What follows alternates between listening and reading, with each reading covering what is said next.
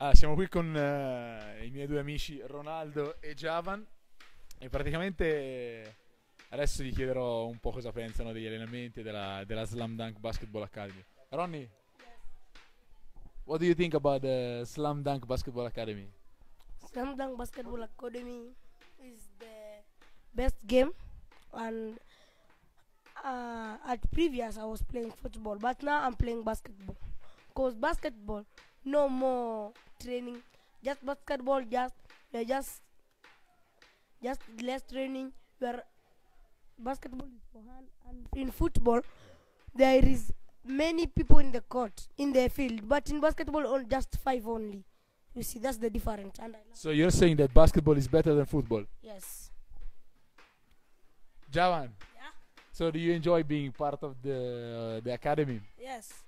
Soon we, we we were playing football, but we were not enjoying because people were many in the field, but we could not play very well.